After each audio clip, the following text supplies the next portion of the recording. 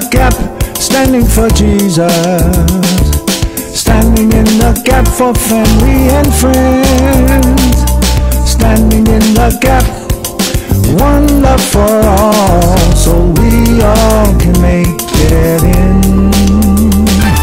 Standing in the gap, standing for Jesus. Standing in the gap for family and friends.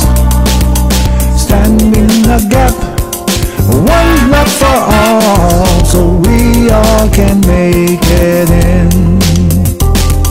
Studying to show ourselves approved, rightly divine the word of truth, increasing our faith to envision our freedom, so we all can glorify our God. Standing in the gap, standing for Jesus. Standing in the gap for family and friends. Standing in the gap, one love for all, so we all can make it in. Make it in. Make it in. Make it in. Wanna hear him say, Good, good and faithful servant. Wanna hear him say, enter to the joy of the Lord. Wanna hear him say, good, good and faithful servant. Wanna hear him say, enter into the joy of the Lord. Wanna hear him say, good, good and faithful servant. Wanna hear him say, enter into the joy of the Lord. Wanna hear him say, good, good and faithful servant. Wanna hear him say, enter the joy of Lord. Wanna hear say, good, good and faithful servant. Wanna hear say, enter into the joy of Lord. Wanna hear say, good and good and faithful servant. Wanna hear say, enter into the joy of Lord. Of Lord, joy of the Lord. Lord, joy of the Lord, of the Lord.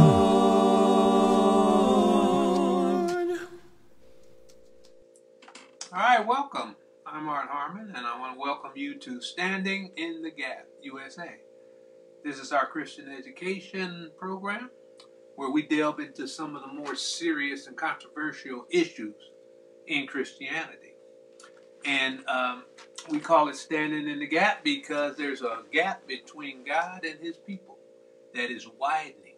And the world is pulling His people away from Him. And He's asking for those who are willing, those who are strong enough, those who have enough faith to stand in the gap. And, and when in the gap, stand on the word of, of, of Jesus, of the Lord, and bring his people back to him. So that's what we do. And I, I just want to welcome you here because we have a great study that we're in the middle of. And we call it um, God's Not Dead in the Case for Christ. And as we get into this, into our, I think it's the eighth uh, installment, our eighth or ninth, before we do that, of course, we always want to say a prayer. Our Father and our God, we want to thank you, Father, for bringing us safely again, Father. Father, if we ever need you, we need you now. The world seems to be pulling away from from you and from your word even stronger and stronger each week, Father. Father, there's no no uh, desire on the part of, of, of, of the people, Father, to look after those who who uh, don't have as much, to uh, protect this world that you have given us, Father.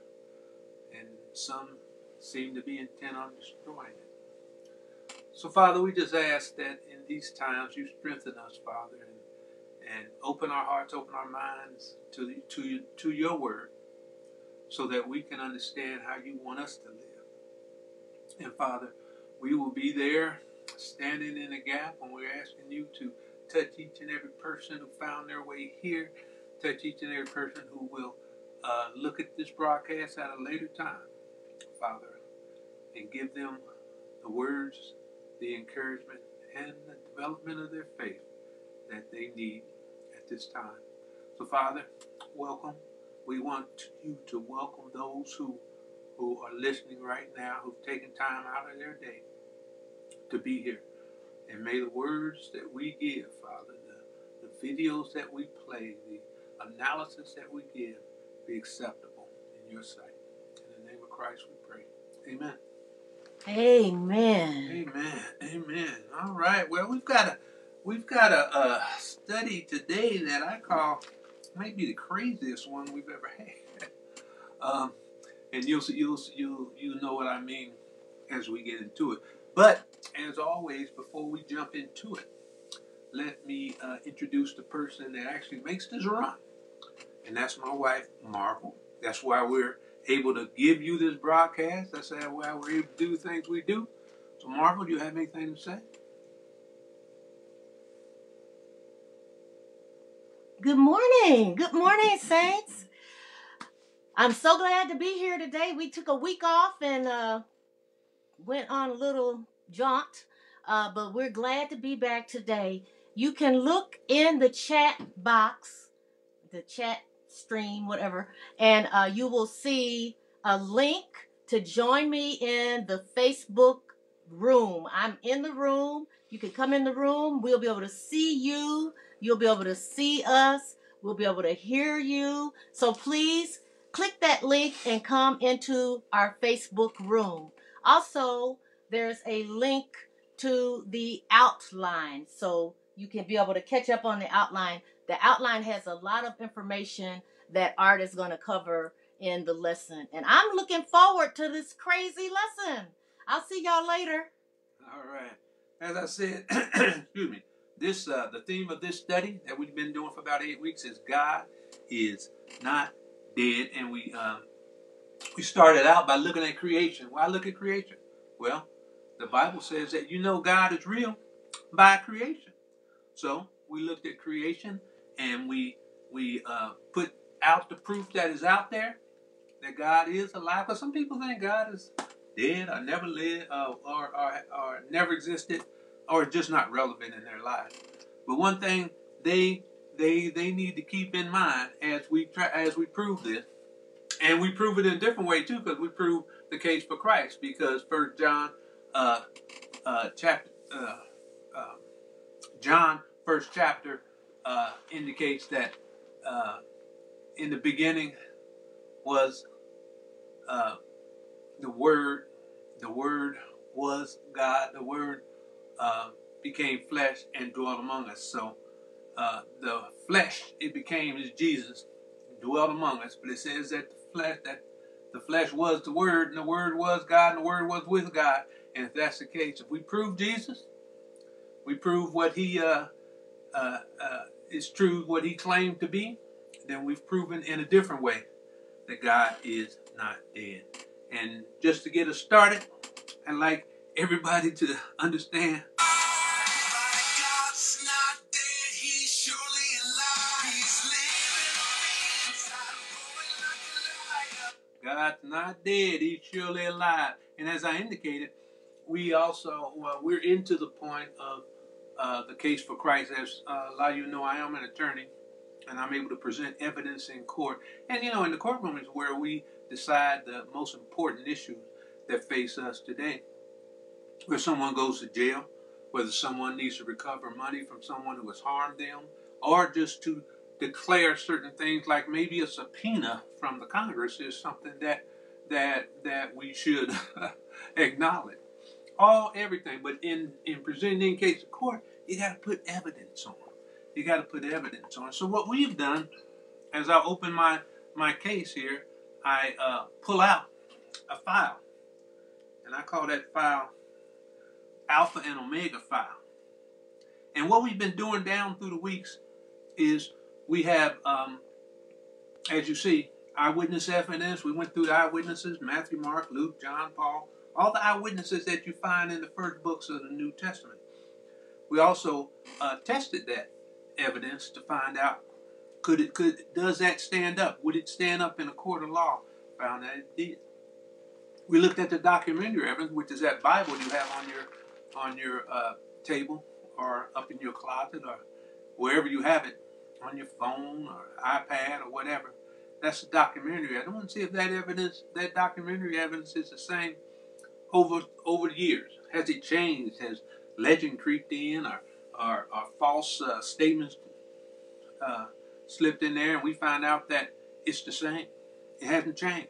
The um, the what they what they believed back after right after Jesus died is the same thing that we believe today. Has not changed. We also looked at the uh, corroborating evidence, meaning the evidence outside of the Bible, but that's not associated with Christians or whatever. Associated with Jews and Romans and all that, and found there is evidence outside the Bible that Jesus existed. We even looked at the scientific evidence, which was the archaeology, and that was the last time we met with our, uh, archaeology, and found out that as they dig into the ground and archaeology became a science, a discipline, that it has confirmed a lot of the things that are in the Bible, things that it that it can confirm, and has reversed some um, some thought that people had about history, as it showed that what the Bible had written is reliable, whether it's a place, whether it's uh, uh, a situation, who was in charge, people's names, and all that, have been able to be verified. So, and now as we move on uh, we're going to change up a little bit from the uh, from the scenario that we have or the uh, progression that we have. We're going to jump down to what we call psychological evidence. In the court of law, we, we present all kind of evidence. And sometimes, like I say, it's scientific and documentary, eyewitnesses. We also put in uh, psychological evidence when necessary. And that's what we're going to talk about today, is psychological evidence. Now,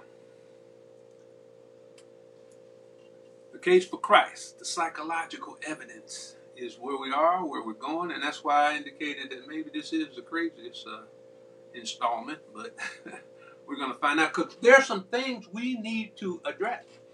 Because as we go through this proof, proof, we don't want to ignore some questions that people might have, and especially questions that should be asked and should be resolved and answered. Because if it's not answered, some people won't won't believe they'll they'll say, "Well, I had this question, it's not answered, so I'm not I'm not going where you want me to go." Okay. Well, there's a question of questions out there we need to talk about. Psychological evidence. And the question, you know, people say, well, why look at psychological evidence? In reference to Jesus. Hmm. You see, we can't hide from one possible conclusion as we look at Jesus' life and his teachings. And what is that? He claimed to be God. he can't claim to be God. You say, so what? Well, I mean, not only that, he sacrificed his life and he advocated loving your enemy. Now, now some of these things people would say that's crazy. One, he claimed to be God, and why would he sacrifice his life? You know. And then loving your enemy, that's a that's a novel concept, you know. But see, most of those things, most of these things like sacrificing your life, advocating loving your enemy, are simply outside the bell curve. But the claim to be God was way off the radar. You can avoid the obvious questions, but eventually you'll have to confront the 500 pound gorilla that's sitting over there in the corner. So we must ask the question, and we have to ask the question. And that question I'm going to ask Marvel to put a, a video up for you that's, that's going to get us started down this road. Psychological evidence. Who do you say Jesus is? And why did you say he I think a lot of us have this idea in our heads that a man named Jesus probably did exist and was a great man, a philosopher, a guru, a spiritual sage, a good guy, or, in other words, a great moral teacher. But God? No. I don't think so. But according to C.S. Lewis, this is the one thing we mustn't say because it's nonsense. It doesn't make any sense, and it's just not an option. Look at it this way I recently came across a story about some guy in Russia who was traveling around from village to village, preaching, teaching, and promising a lot of hope. And he had a bit of a cultish following. And then he said, Oh, by the way, I am the Son of God. Now, what are the first thoughts to shoot across our minds? It's either A, this guy's completely out of his mind, or B, he's a liar and a con man and he's taking advantage of these people. But I don't think any of us would be thinking C, oh, what a great man and a great moral teacher. Poof. C.S. Lewis puts it this way Any man who was merely a man and said the sort of things Jesus said would not be a great moral teacher. He'd either be a lunatic on the level of a man who thinks he's a poached egg, or else the devil of hell. So then, for Jesus to go around claiming to be the Son of God, there can really only be three options. Either A, he's a madman, B, he's lying, or C, the option that terrifies us. He actually is who he says he is. Now, some of us will try to wiggle out of this by saying, yeah, but how do we know he really said those things? Well, either he said them or somebody else invented that he said them. And if somebody else made them up, then we have to be able to answer all those questions like who made it up and when did they make it up and why and what could they possibly gain? Well, according to Peter Kreeft, professor, philosopher, and author of over 80 books. Here's what they gained. Their friends and family scorned them. The Jews and Romans stole their social standing, possessions, and political privileges. They were imprisoned, whipped, tortured, exiled, crucified, eaten by lions, and cut to death by gladiators. Others of us will say, yeah, but there could be other options. Like, what if he was just misunderstood and didn't really mean those things? Or what if he was just a legend created around campfires? Well, it's impossible. It was all just a big misunderstanding. But look at it this way Imagine if you were on trial for your life, all because of a huge misunderstanding. Wouldn't you do everything in your power to try to clear it up? Jesus doubled and then tripled down. And the legend thing? Well, people who know about this stuff and common sense tells us that there simply wasn't enough time for a legend this significant to take root and spread. Look at it this way. In order for a legend of this size to grow, at least 100 years or a full generation must pass. Why? Because anyone who's alive who could debunk the legend would have to be dead. Now, Jesus died around the year 34, give or take, and the earliest accounts we have of early Christian life were written around the years 50 or 60. So that leaves a window of about 30 years for a legend of this magnitude to take root and spread. So that would be like someone trying to convince me that Joe Schitelli, a guy I went to high school with, was the son of God and raised some guy from the dead at the prom. And then me and about 300 other people saying, um, no, he wasn't, and that never happened. Every single one of us probably has a different idea in our head of who Jesus is. Some of us will say he was just invented or misunderstood or a legend. But these are all just illogical speculations with no historical basis. The easy way out is just to say, yeah, he was just a good guy and a great moral teacher. But as C.S. Lewis says, we got to stop with this patronizing nonsense about him being some great human teacher. He didn't leave that option open to us. He didn't intend to. Instead, we're left in a rather uncomfortable spot, and we have to make our own choice. Do I mock him or pity him as just some poor guy who was completely out of his mind? Or do I spit on him as a liar and a fraud who deceived billions of people?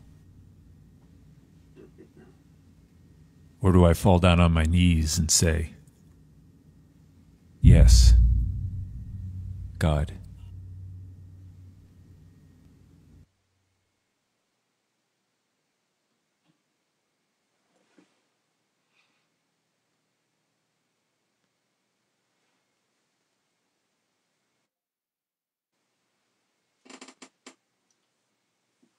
Wow.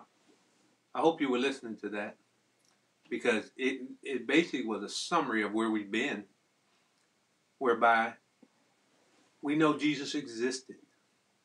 We know that Jesus, his sayings, we know that um, there's evidence outside the Bible for his existence. So if he existed, which I believe the case has been made, and he said the things that he said, which is, like I say, way off the radar, some of it, okay?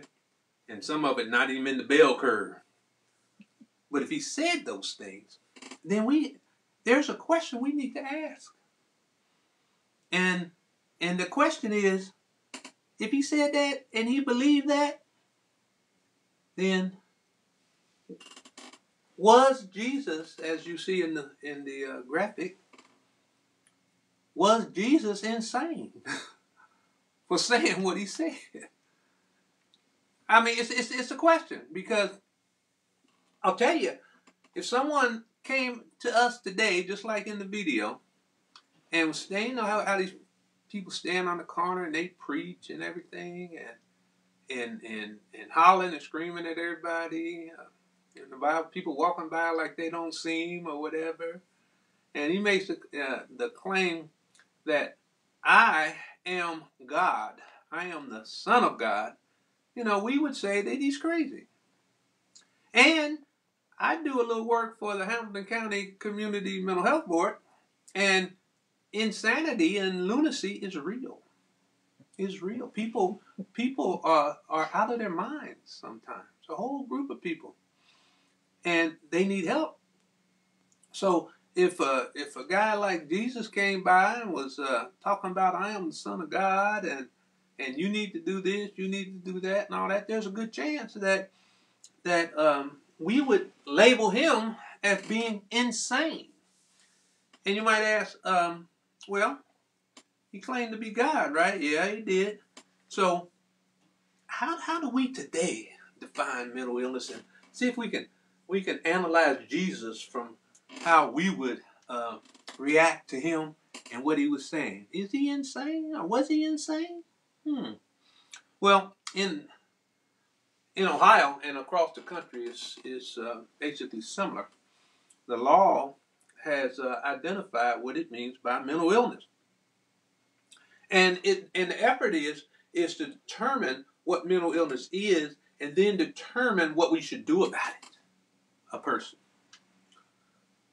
In Ohio, it's defined as a substantial disorder of thought or of mood, perception, or orientation uh, or memory that grossly impairs uh, judgment, behavior, capacity to recognize reality, and the ability to meet the ordinary demands of life. So when we look at that, it says a substantial sort of thought or mood, perception, orientation. Let's look at that. We go to the next. one. what are disorders of thought? Delusions. What are delusions? Delusions are fixed false beliefs. Then uh, paranoia a lot of times is, is deemed a delusion. Paranoid delusion. Where somebody believes something but there's no no evidence of it, no rational reason why it should be it should be believed, but they they believe it. Or uh, grandiose delusions, where as somebody like Jesus would say, "I'm God." That's called grandiose. And a lot of people say, "I'm I'm Obama," or "I'm a fa- uh, Obama's father, or I'm I'm uh, Trump's daddy, or I'm Trump, you know, or I'm JFK's cousin. JFK's cousin, and all that. And it's it's something they say about themselves that is just not believable, and there's no evidence of it, or whatever. And so, and somatic delusions are are things that you think about yourself. And for one would be that somebody thinks they're too fat, you know, or too skinny or whatever. And you know, they say, well, that's normal. Yeah, but some people they're they're skinny and think they're fat. or they're fat and think they're skinny. That's where the um, eating disorders come in. Exactly. So, so that those things, your paranoia, your grandiosity, and your somatic delusions could lead you to be determined to be insane. But it, it takes more than that. And then you're talking about other things like looseness of association. That's when person can't can't keep two thoughts together. You talk to them and they're all over the place, making no sense, no stream of consciousness, and that's the flight of ideas also. Well, one idea, then another idea, and you say, "What are you talking about?" Or disorganized. Their their thoughts are just so disorganized that that you can't make any sense of it. They can't make any sense of it, and they're just way out there. So those are disorders of thought, and we're going to see how these fit on Jesus in a minute. Or mood. We'll say, what's your mood? Well, mania. A lot of people know what mania is. They're like maniacs, you know. People are just so hyper and all that. They're going at 100 miles an hour when they should be going at 20. And, um, or depression. That's the other side of bipolar. One is mania, the other depression. Um, where they are so depressed that they can't do anything. Some people get so depressed they can't even get out of bed. They can't clean the house, take care of the kids, or anything. Lability of, of mood. What that is is that one one moment a person's uh, laughing, next next moment they're crying, and just transitioning back and forth and all that kind of thing. They can't keep that under control. Affect is when when uh, a person is is uh, laughing for no reason. you say, "Why are you laughing? Why are you crying?" You know, no reason to be crying. Your affect doesn't fit the situation. Is affect also when you laugh at a sad situation or you cry at a joyous situation? Absolutely, absolutely. And uh, and and like I said, these things are evidence of of mental illness or, or insanity. May may not be though. I mean, it it it is evidence of it, but it may not be anything that that we need to do about it. Then you have disordered perception. That's where people have visual hallucinations. They see things that aren't there, or auditory hallucinations, where they're talking to someone who's not there, and or listening to somebody who's not there, and is controlling them. Hmm. Those are the things that'll get you uh, labeled as insane.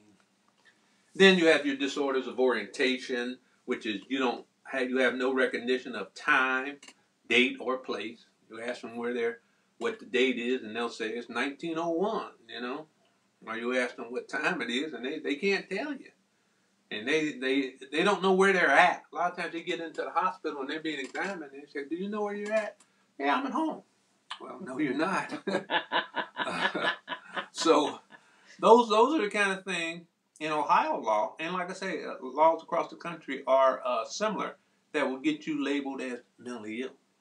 Now you know something else, honey. Um, a lot of these, I'm gonna call them characteristics, uh, disorientation, or uh, some of these other hallucinations and things. Some of those are not mental illness. They may be caused by medication, or they may be caused by you just were playing soccer or football and you got a concussion, and that sort of thing too. So it's not I mean, these things that we're talking about could be something other than mental illness, also. Isn't that correct? Not really. And the reason I say that is that the way um, the law looks at it, they don't care how it started. Okay.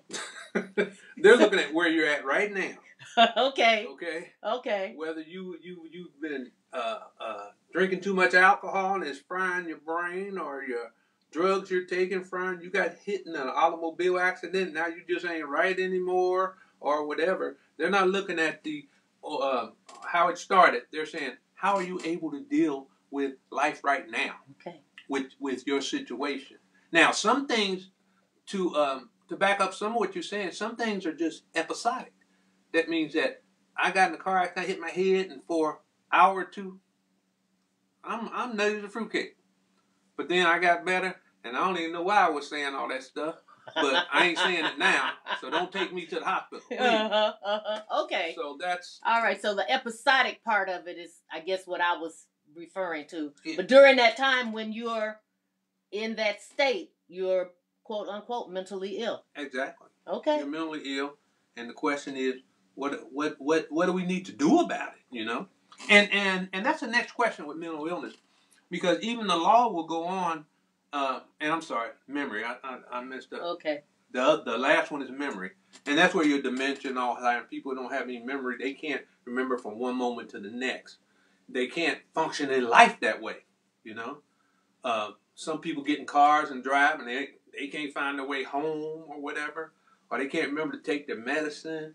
They can't remember what. Uh, uh, they they go for a walk out into the neighborhood and they can't remember how to get home and all that. Somebody find them dead in the field somewhere and all that disorders of memory can be mentally can be mental illness also.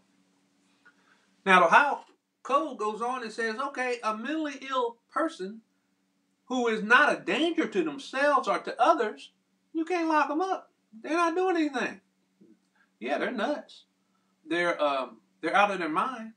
But what we want, we don't want to take away someone's rights because unless they represent a substantial risk of physical harm to themselves, manifested by evidence of threats or attempts at suicide or serious self-inflicted harm. That's that's one category with the mental illness, and then you're doing these things that will get you in a mental hospital. Also, do you represent a substantial risk of physical harm to others manifested by evidence of recent homicidal or violent behavior? Evidence of recent threats that place another in reasonable fear of violent behavior. So any any uh, uh, homicidal, uh, I'm going to I'm going to kill somebody, or uh, or I'm going to beat them up, and I'm going to break in their house. I'm going to do this and I'm going to do that. Evidence of, of, of, of threats and all that kind of thing. In conjunction with your mental illness, get you into a hospital. Are you a substantial and immediate risk of serious physical impairment or injury to yourself in that you can't provide for your basic physical needs anymore? What you see a lot of times with the mentally ill is people just walking out on the street, doesn't look like they changed their clothes in about three months. All their clothes are raggedy or whatever. Or it's it's it's it's hot, 90 degrees outside, and they got five or six layers of clothes on and all that. You go into the house, it's all messed up and uh, rat infested and bug infested, and there's no food in the refrigerator and all that kind of thing. Or they're supposed to are diabetic and haven't taken their medicine for three or four months and all that. They can't take care of themselves because of their mental illness. That's a category that can get them locked up also. And then there are those that could benefit from treatment for their mental illness and that they're in need of that by evidence that creates an imminent risk to the substantial rights of others or, or, or the person. For instance, we have some people who um, are so paranoid uh, that they, uh, they, they're always calling for help. They call 911 all the time. Then you do that about five or six times, the police will show up and they will take you to the hospital. there's nothing. There's nothing going on. People call and they'll say, "People are breaking into my house," and you say, "Well, how are they breaking? They're coming through the wall." Mhm. And so you know that that kind of thing, and and and the, it affects others' rights because sometimes they'll go and um, uh, down the street and knock on somebody's house, say, "This is my house," you Mhm. know, or they'll, "This is my car," and things like that. That that interferes with other people's rights and all that. You do that, they along with your mental illness, they will lock you up. They'll lock you up. Now, um, it can be criminal. They can be criminal. Let's say we we have a lot of people incompetent to even stand trial. They commit crime, but they're so so mentally ill, whatever. You can't hold them responsible for because they have no idea what they're doing. They're mentally ill, and they're incompetent to stand trial. The charges get dismissed, but they get locked up in a mental institution, or they're not guilty of their crime because of insanity. So they're competent, but at the time they uh, committed that act, they were not in control of their mind. And then that's the criminal part, but civil commitment, is uh, different, whereby um, we have to um, we have to put you in the hospital and we have to treat you against your will, meaning you won't get treatment, you won't you won't agree to treatment, but we know you need treatment, and we can't let you go and all that, so we keep you in the hospital, and we can commit uh, involuntarily commit you for long periods of time to try to get you better. Now that's a quick uh, analysis of uh, mental illness, how we deal with it today, and all that. Uh, well, how we understand it today. The next part of it is what is the treatment for it? Well, you you have to uh, you have to get some counseling or or something, you know. Uh, I like that slide. the doctor is in. But the way we do it, you know how they treat mental illness more so than anything else? Some people say, well, it's counseling and all that kind of thing. Uh, and, and counseling is okay for those who are, are tipping into mental illness and all that. But for those who are in it, this is how they treat it. There you go. That's how they treat it. Pills, medicine, all that. And basically, uh, it's medicine for the brain. Um, and there is counseling. I'm not going to say that. Um, you know, sit down, talk to you. Some people, you can talk to them and kind of clear up some things or whatever. But uh, a lot of people have to go into the hospital. They have to get into a hospital uh, and get committed. And uh, they go on to a psych ward and can be there for a long time. And then they got outpatient services for those that don't go in the hospital, or you go in the hospital, you get released, but you still need to have some treatment. So on an outpatient basis, you're assigned to a mental health agency where you have a psychiatrist, counselor, case manager, all that kind of thing, to follow you and make sure that you're uh, you're on track.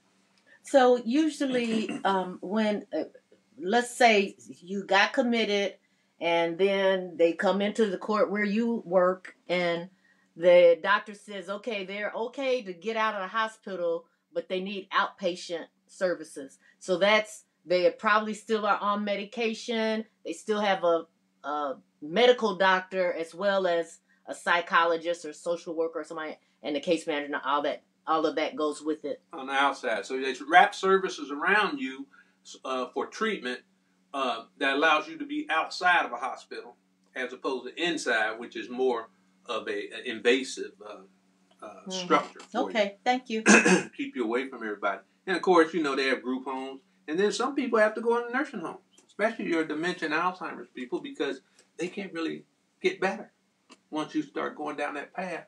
Then they get to the point where nobody can handle them, so they have to go into a nursing home. All right. Now, let's talk a little bit about the path of psychology. Uh, psychology has not always been a disciplined science. Oh gosh. I'll let you know. And actually, it's traveled the sad path of cruelty and treatment to a respected field of medicine and science. And as you look at this, they, you know, they they're standing over you, preaching to you, because then they're then they're going inside of you and all that kind of thing. And then you have even you know lobotomies and all that, where they drill holes in your brain, and they didn't know what they were doing.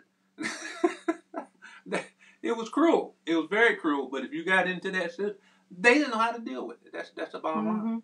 It wasn't a science. They had no idea how to do it. They actually thought it was just demons and things like that.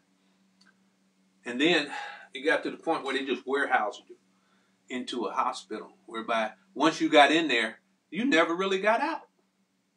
And and once you're labeled as mentally ill, it don't go away. The stigma stays with you uh, the rest of your life.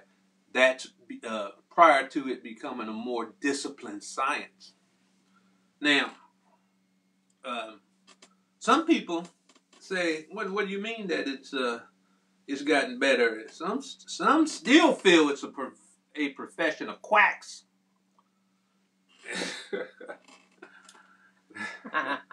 I'm going to make quacking sounds, and you say the first thing that pops into your mind.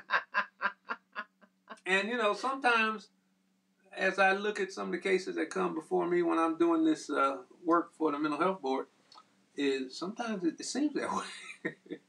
sometimes they, I don't I don't think they know what they're doing, and so what do they do?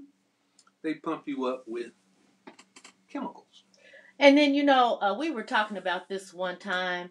They pump you up with chemicals and they don't even know why the chemicals work. Exactly. And there's still a lot of things they can't even explain. Like, um, mental illness doesn't always come from um, um, chemical imbalance, they say. It can be organic, like like you said, you got hit in the head and and or you uh, overdid drugs or whatever, and you've been do, you've been uh, a serious alcoholic for twenty or thirty years and all that. The damage is done. They can't reverse it. So scientists are not really sure why the medicine works, as you said. They know it does on some people, or maybe it masks uh, the behavior or whatever. But when they give it to you, a lot of times, if people stay on this medicine, they can go back out and live a relatively normal life, except for the side effects, which will stop them from taking the medicine. And it becomes a revolving door. Revolving door. Now, as I do in, in uh, presenting this case for Christ, I always say, you know, there's some things I'm not an expert at. So I give you an expert. We're going to use an expert this week as we've done with the other category. I'm going to present to you an expert. His name is Dr.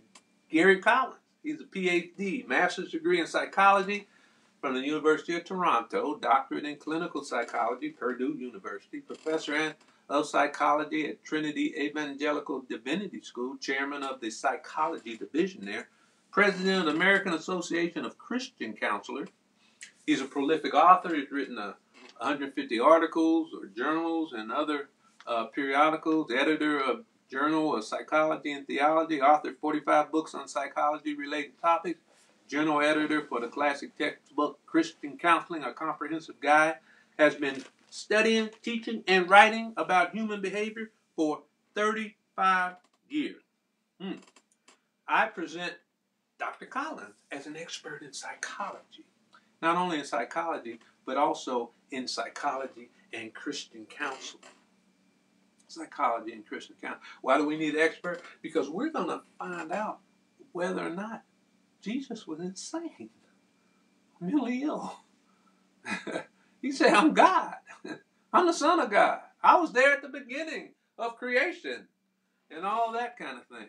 You know, and I, as I thought about it, I said, uh, think think about this too. Kind of kind of keep this in your mind too. Jesus and John the Baptist. Okay, see how how, how we would treat either of them if they were around today.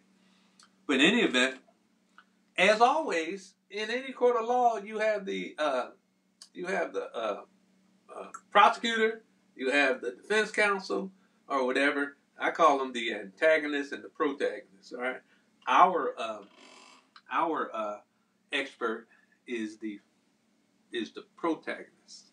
Okay, the other side is the antagonist, and that's represented by this guy named Strobel. So what we do is we kind of contrast the antagonist and the protagonist as we would in a court of law because there are two sides. Um, and our, our antagonist will be the one asking the questions that our that our expert will be answering. And it's Strobel. Strobel, as you as as I say each time, he wrote the book uh, A Case for Christ, and that's I used a lot of of, of, of that material in creating this study and he um, he was a, he was an atheist, and he, it was his uh, goal to um, use his uh, uh, investigative skills to debunk everything about Jesus and God and all. He, he was an atheist. As he was going through and and investigating all that, he became a believer.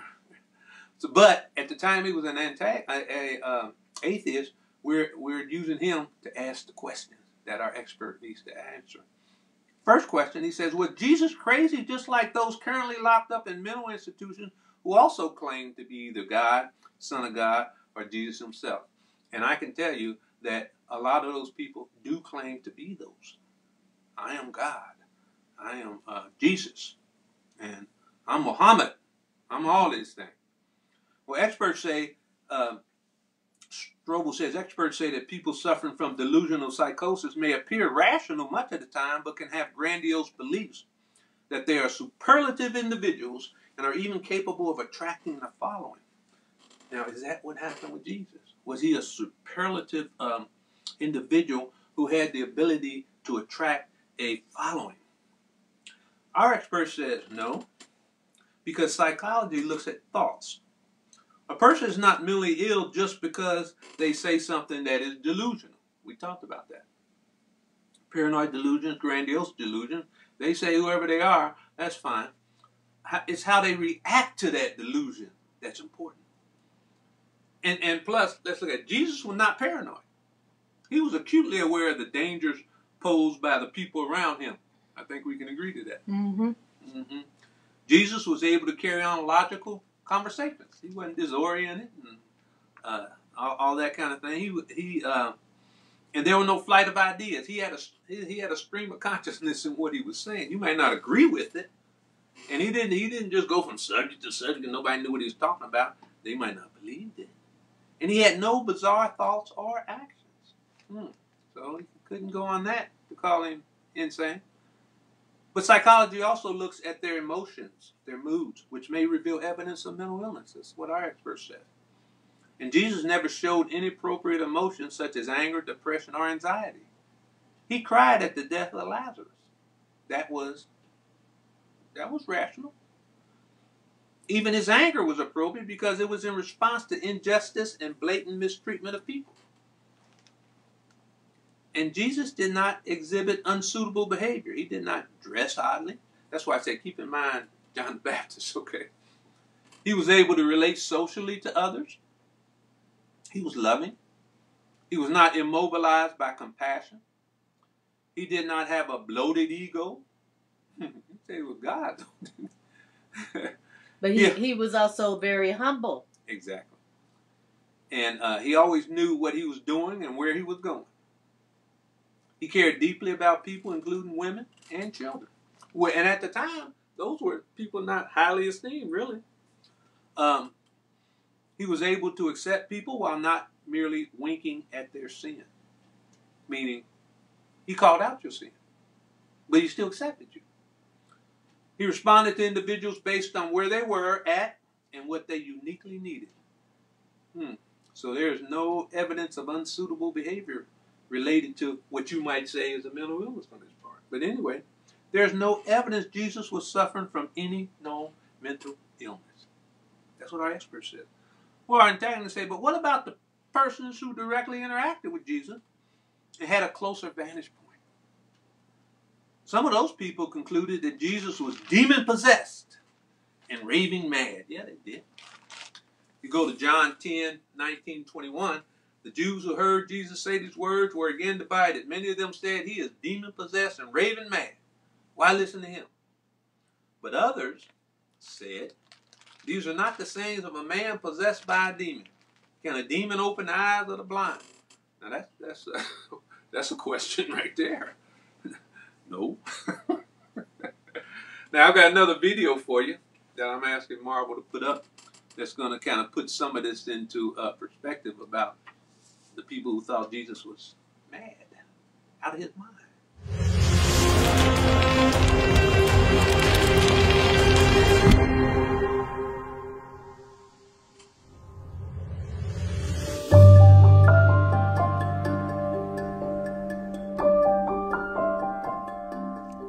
Jesus' activities in Galilee have been challenging the customs and traditions expected of a Jewish man in the first century. He's been pushing the boundaries. He even touched people with horrific contagious diseases. And the things he was saying went beyond what any man should claim. He even claimed to forgive sin.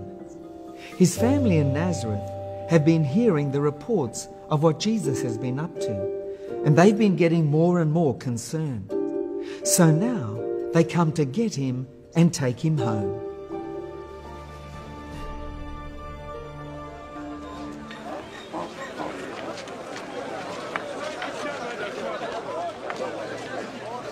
Then Jesus entered the house, and again a crowd gathered. so that he and his disciples were not even able to eat. When his family heard about this, they went to take charge of him, for they said, He is out of his mind. Jesus' family must have been horrified.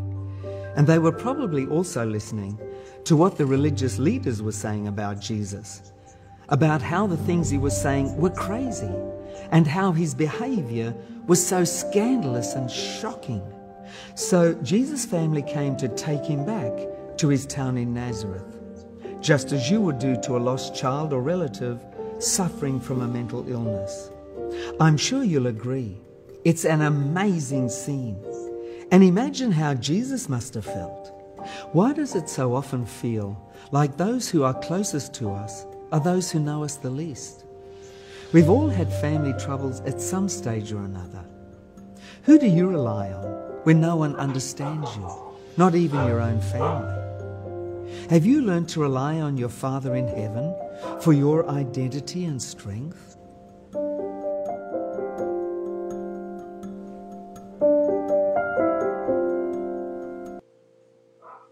All right. So even his family thought he was out of his mind for what he was saying. But see, what our expert says is that all these people, the Jews and even his family who thought that, that he had lost his mind or whatever, their beliefs were not a diagnosis of a trained mental health professional. They were reacting to Jesus' claims to be the good shepherd. His assertions were far beyond their understanding of the norm, not because he was mentally unbalanced. And others in the crowd disputed those allegations by saying that this is not the saying of a man possessed by a demon, because a demon cannot open the eyes of the blind. You see, Jesus did not just claim to be God, he backed up his assertions by miraculous acts of compassion, such as healing the blind, astounding demonstrations of power over nature, uh, transcendent and unprecedented teachings, divine insights into people, his own resurrection from the dead. See, you can say you you a lot of people say a lot of things, but then they can't back it up. Jesus backed it up, and no one else uh, has ever been able to resurrect themselves. I'm dead and I resurrect myself. Nope. And that, that might be evidence that he is what he claimed to be. Now, our antagonist said, but what about the words of Charles Templeton? I talked about him before. He was a contemporary of Billy Graham, but lost his faith and became a skeptic. Templeton said many illnesses were psychosomatic and could be cured when the sufferer's perceptions changed. Doctors today use placebos to change the perceptions of their patients and heal them because the patients actually believe the medication can heal them. Our expert says it is true that Jesus could have healed by suggestion. Take the time when Jesus said it was the person's faith that healed him. Jesus was insightful enough, though, to know that such an um, uh, that a person had an illness who had an illness or disability that uh, that person may only have needed some encouragement. However, keep in mind that such an explanation cannot explain all of the healings for which a psychosomatic illness is virtually impossible, such as lifelong blindness. That's not psychosomatic. Leprosy, lifelong lameness, bringing people back from the dead. Death is not a psychologically induced state. Psychosomatic healings generally take time, but Jesus' healing were instantaneous. Many times, people who are healed psychosomatically have their symptoms return in a few days. However, we don't see any of that with Jesus' healings. When He heals you, you are healed for real. When Jesus, uh, uh, psychology cannot explain the nature miracles of Jesus calming the sea and the storm, turning water into wine.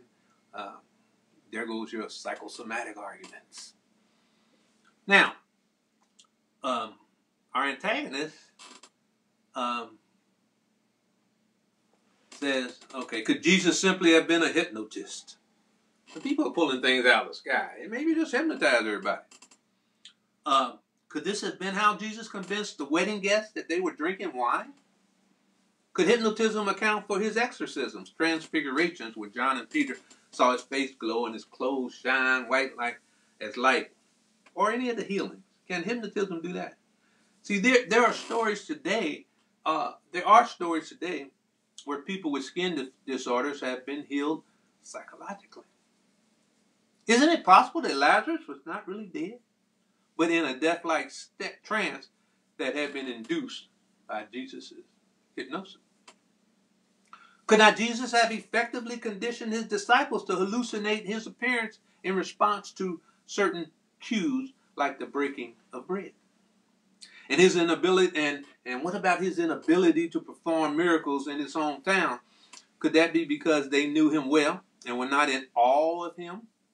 Which is precisely the problem that hypnotists run into. now, our expert said, Mm-mm. in order to believe that, you must have a lot of faith in hypnosis. He said, hypnosis seems to only work on those who are susceptible to it, i.e., those that want it to work.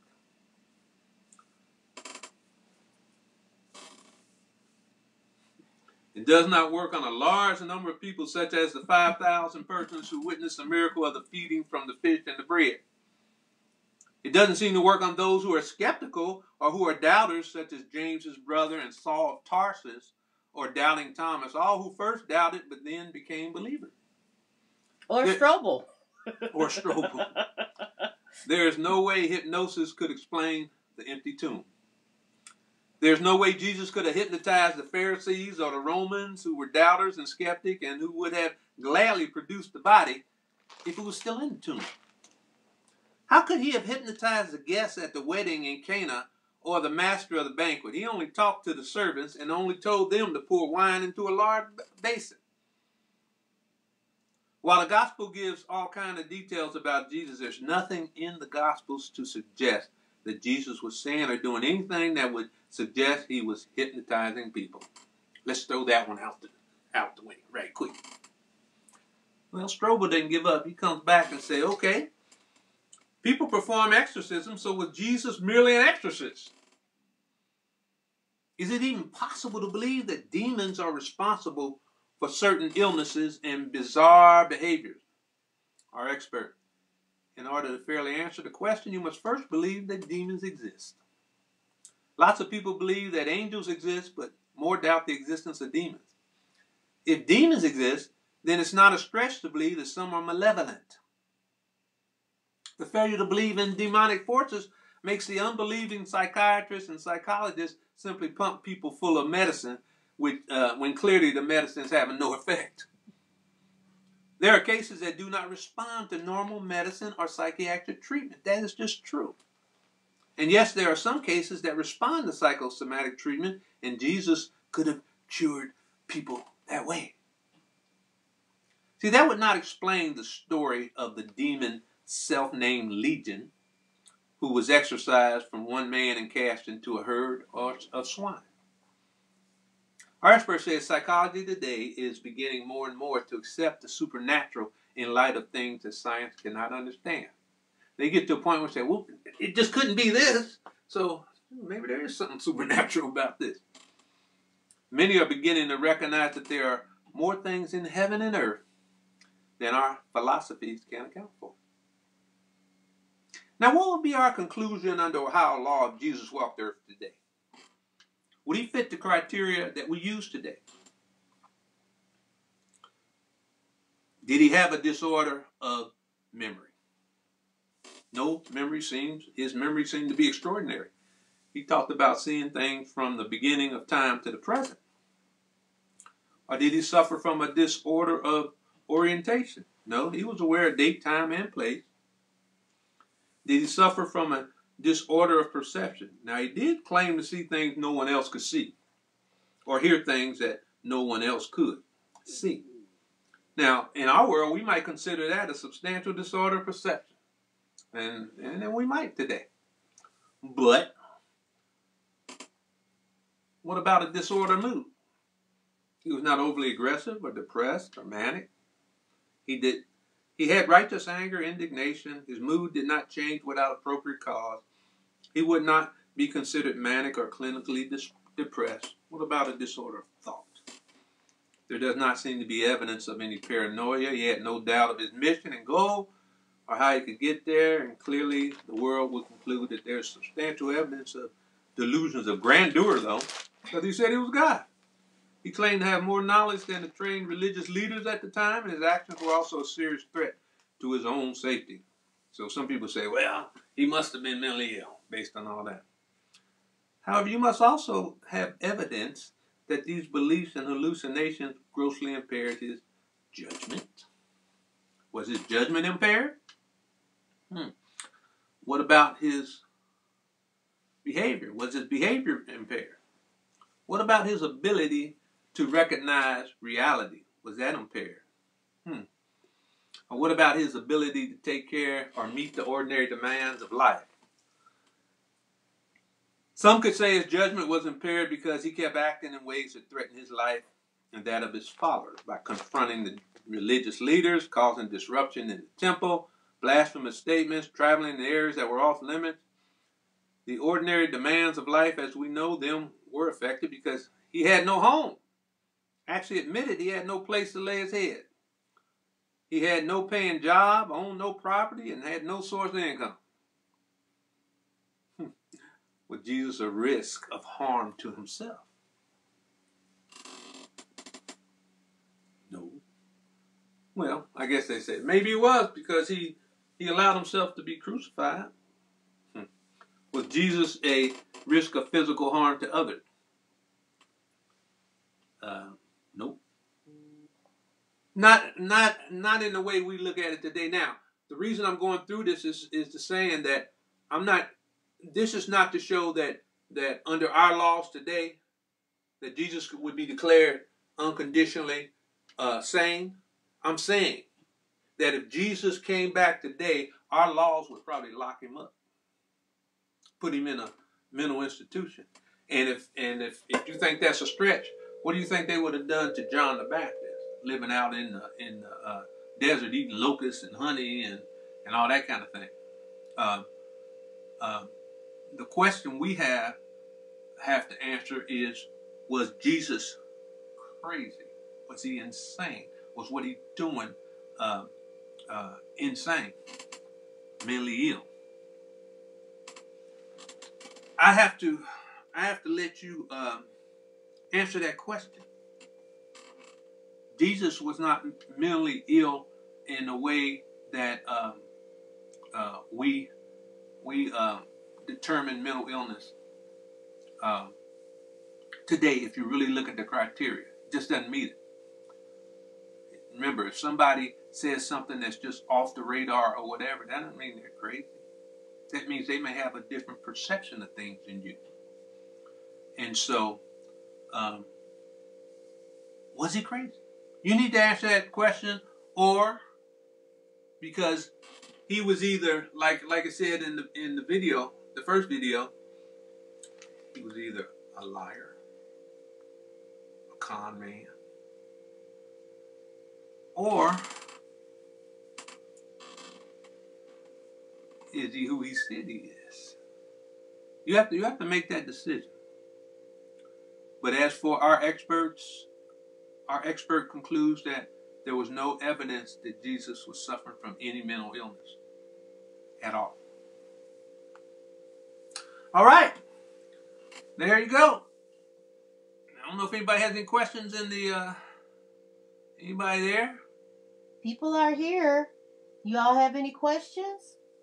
Any questions about the descriptions of mental illness or how Jesus, you know, the only thing that I would say is that so if Jesus decided he wanted to walk around on the earth today and he said the things that he said that are documented in the Bible, but he also did the things he did that are documented in the Bible. So somebody's going to bring him to court and say, he this man is crazy because he says he's the son of God and then right before our eyes he makes a blind person see or he gets lets a lame person get up and walk and it's not a stage thing like some of those pastors on TV that's trying to get a ten dollar donation for something or another, then you have to say, well, oh my goodness, he has to be because this is impossible otherwise. That's very clear insight on your part because the whole the whole basis of this is that I can say all kind of things, and you can think I'm crazy for saying them, but when I back them up, when I back them up, then there's no evidence that that's a mental illness, obviously. And hypnosis and all that kind of thing, you know, uh, you're going to hypnotize uh, uh, 100,000 people or, or 10,000 people or well, all of them at the same time? I don't think so. Mm-mm. No, it, that doesn't make sense. See, the arguments against against it don't make sense. And so you're trying to say, well, Jesus didn't make sense. Your arguments make no sense. now, I can't make you believe that Jesus backed up his statements. I can tell you that if we prove that he did, which we have, all this evidence has been pre- presented already, then you've got no argument about him being insane. That's what it is. That's the psychological evidence. And next, uh, we're going to, uh, next time, we're going to proceed to the identity evidence. And, and I'm, I'm taking these a little out of order uh, for a couple reasons, but I was going to the rebuttal evidence, but that's generally at the end, so it's it's, it's right to move that down. Um, but next, the next uh, outline will be on identity evidence, and this is who did Jesus think he was? Now we can we can say that he said that. What did he really think of himself? And we'll get into that. All right, Marvel, you got anything? No, I'm looking forward to the identity evidence. identity evidence in the case for Christ. We will be there next week. And I want to thank everybody that uh, joined us. And like we said, if you have any questions or whatever, you can send them to us. Um, and I'll be more than happy to address them, either, um, I guess, email or whatever. Email, you can put it in the chat box. We monitor that. So uh, after this live goes into Facebook ether, um, you can still put comments or questions in there, and we will monitor and answer as uh, as they come in. But you can also email us um, and uh, or message us, Facebook message us as well. All right. Well, and then I thank you for showing up. I just want you to remember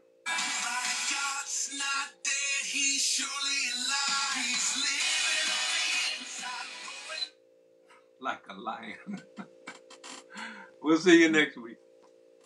Let's uh let's pray as we always do. Our Father God, thank you for the lessons that you're you're giving us, especially the one today, Father.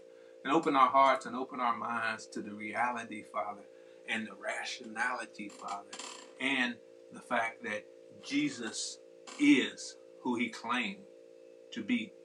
And if he is who he claims to be, then you are who you claim to be.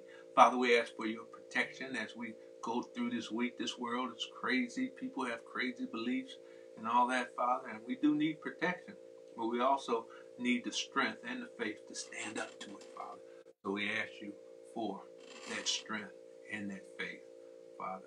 And we ask all this in the name of Jesus Christ. Amen. Amen.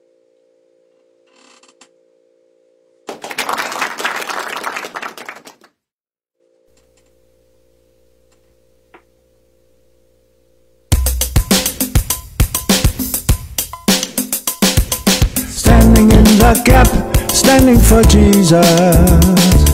Standing in the gap for family and friends. Standing in the gap, one love for all, so we all can make it in. Standing in the gap, standing for Jesus. Standing in the gap for family and friends standing in the gap. One love for all, so we all can make it in. Studying to show ourselves approved, rightly divine the word of truth. Increasing our faith to envision our freedom, so we all can glorify our God. Standing in the the gap, standing for Jesus. Standing in the gap for family and friends. Standing in the gap, one love for all, so we all can make it in. Make it in. Make it in. Make it in. Wanna hear him say good, good and faithful servant. Wanna hear him say enter to the joy of the Lord. Wanna hear him say good, good and faithful servant. Wanna hear him say enter to the joy of the Lord. Wanna hear him say good, good and faithful servant. Wanna hear him say enter to the joy of the Lord. Wanna hear him say good, good and faithful servant. Wanna hear him say enter to the joy of the Lord. Wanna hear say good, good and faithful servant. Wanna hear say enter to the joy of the Lord. Wanna hear say good and good and faithful servant. Wanna hear say enter to the joy of the Lord of Lord, joy of Lord, Lord, joy of Lord, of Lord.